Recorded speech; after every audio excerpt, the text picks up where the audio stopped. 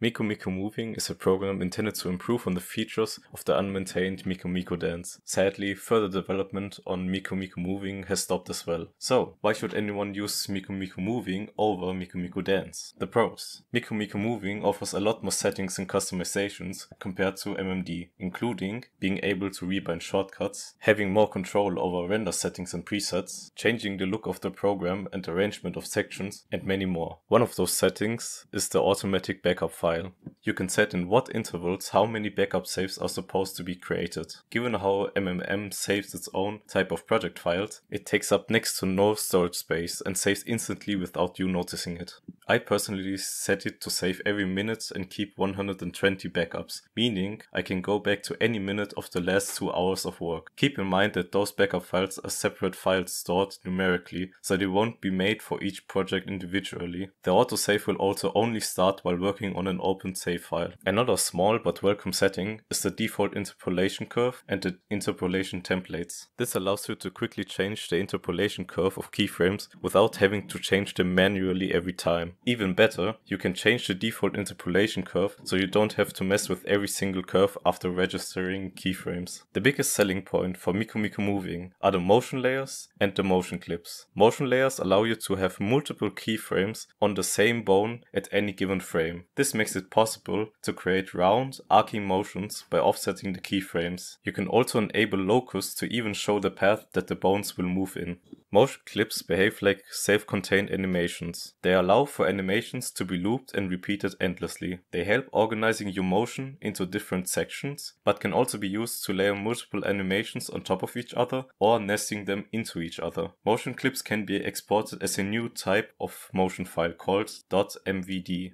Last but not least, Miku Miku Moving allows the development and use of plugins. These make it possible to automate tedious tasks like adding blinking to models, easily adding animation noise by randomizing keyframe values, or show more information on the display. If Miku Miku Moving has so many advantages, why are people still using Miku Miku Dance? The cons. Just like Miku Miku Dance, development has stopped for a long time and is sadly not open sourced. There's also no guide on how to create Miku Miku Moving plugins. The default user interface is even more cluttered than Miku Miku Dance, making it rather overwhelming for a beginner. It also doesn't help that the IK bones and rigid body physics don't always behave like they do in Miku Miku Dance. Not every single feature from Miku Miku Dance is also available in Miku Miku Moving. Especially bone parenting isn't available in Miku Miku Moving, with the exception of the mother bone. While it is possible to use raycasts in Miku Miku Moving, you need a special version made for Miku Miku Moving, which is even more tedious to set up and use than in MMD. It also doesn't support all of the original functionalities, like depth of field or fog. To top it all off, exporting motion files doesn't work completely. Facial morph keyframes don't get exported